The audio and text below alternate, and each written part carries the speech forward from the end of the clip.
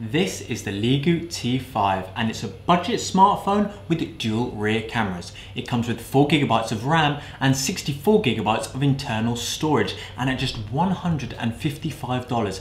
It's great for those of you who don't want to splash out on more expensive models. It comes in this simple white box and in addition to the charger and manual, you'll also get in the packaging a screen protector and a set of in-ear headphones, which is quite a rarity for budget phones. The Leagoo T5 has two color options, gold or black, and um, as for the design, it's quite a standard and neat looking design, similar to a few other phones released this year.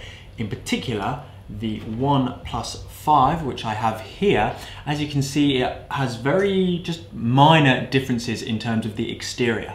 Like the OnePlus 5 here, we are also keeping the audio jack. However, unlike the OnePlus 5, the T5 uses a micro USB instead of a USB Type-C port. The T5 has a sharp 5.5 inch Full HD display, which in my opinion is one of the highlights of this phone, especially when you take into consideration the super low price of the T5, you're getting a very high quality screen.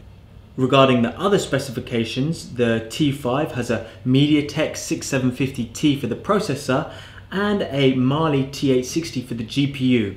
It also scored 41,000 on the Antutu benchmark tests. For the cameras, you get an impressive 13 megapixel front camera and a combo of 13 and 5 megapixel for the dual cameras on the rear. Here's an example of what photos from the T5 will look like.